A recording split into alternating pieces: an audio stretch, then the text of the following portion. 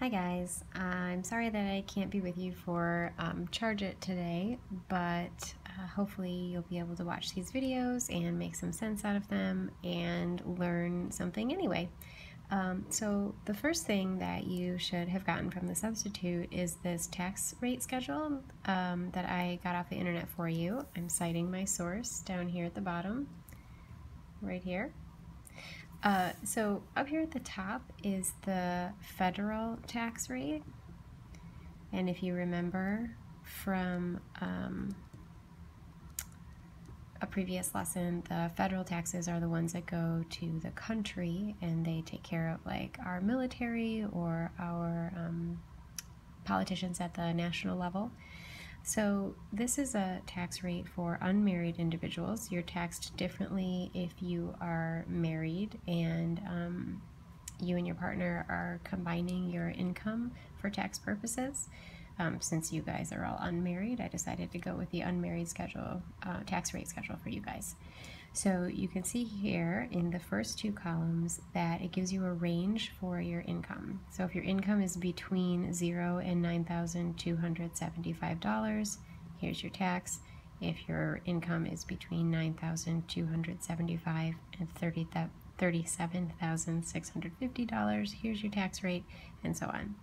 So the way that the tax works is that it's like a flat rate plus some kind of percent uh, in the first row, you'll see that if you make under $9,275, you don't have any flat rate at all. You're just taxed a, a plain 10% of whatever your income is.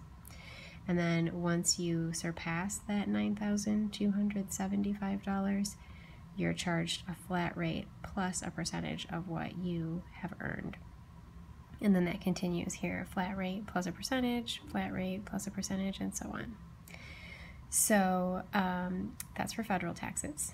And then on the bottom, you'll see that you also, oh, sorry, and this, um, we're gonna call this row one, two, three, four, five, six, and seven, because we'll need those row numbers for the next activity you're gonna do. Um, okay, so the next thing down here is the Vermont uh, state tax rate. And again, this is for single taxpayers. So if you are not married, this is the taxes that you pay to your state government.